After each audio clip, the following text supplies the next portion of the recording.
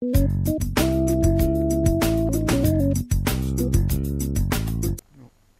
es eso? No tengo ni idea. No, no tengo idea. sí, la época de, de Isabel Perón y de Perón.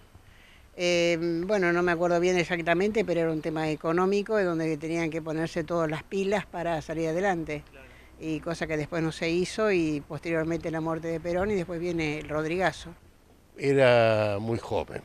No, no, no, no me acuerdo bien. Mucho no me acuerdo porque me falta memoria.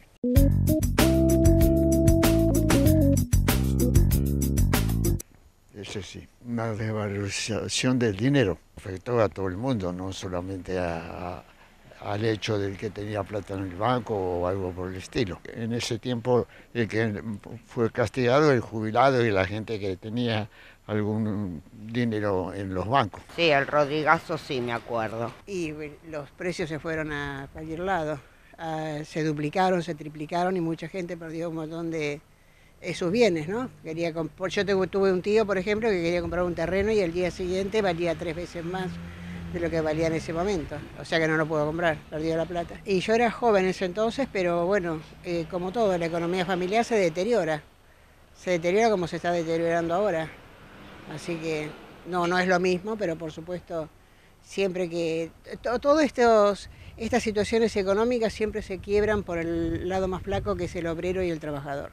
Ese sí, sí. ¿Qué fue el Rodrigazo? Y fue que se fue todo para el miércoles, se quedaron la gente sin...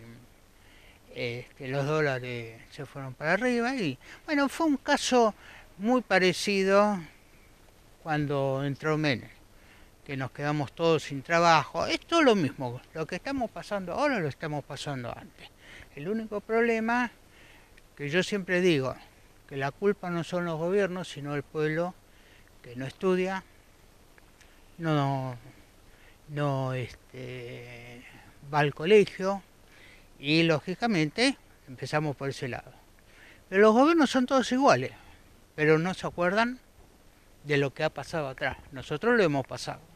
Los militares, que era una forma de que la gente se podría andar en la calle, que la policía tendría que manejar, ¿no? porque yo me acuerdo que entraba en las villas con un camión, este, y estaba la policía y nunca me afanaron, con un camión cargado de mercadería. Ahora, este, es una cosa... Del Rodrigazo sí me acuerdo, porque, por ejemplo, mi viejo se compró un Ford Falcon si se lo hubiese comprado el día anterior, no lo podía comprar. Con esa plata que compró el Ford Falcon, después no podía comprar ni, 12, ni, dos kilos de banana. Y vendría a ser algo parecido a lo que estamos viviendo actualmente.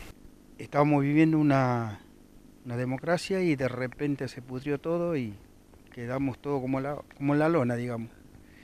Yo estoy jubilado y ahora te puedes imaginar que no te alcanza ni para los remedios con el sueldo que tenemos.